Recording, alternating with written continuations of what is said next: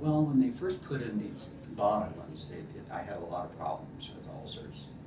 But, uh, uh, they told me to come in whenever I could, when, whenever it hurt, and I did. And they tried to fix it each time, and they f- finally got it right. And now I have no problem whatsoever. First time I came in, um, he was very thorough, he was very nice. Uh, I had a lot of problems. And, uh, uh, he asked me what I wanted. I said I, I wanted a nice smile and I wanted, you know, different teeth. And, uh, he told me he could do that, and I felt confident. It Went very well, I think. Wonderful. Including your um, valet parking people.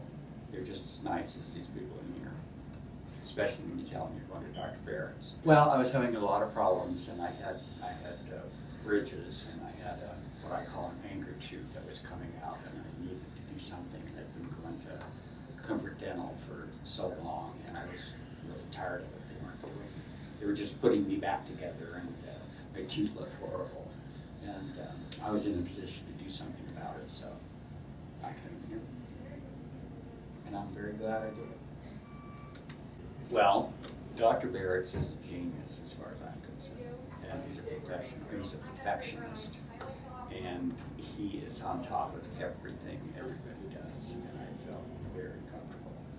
I love my smile, I love my teeth.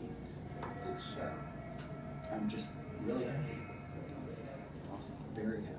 And everybody that I see is, they can hardly believe that they're false teeth.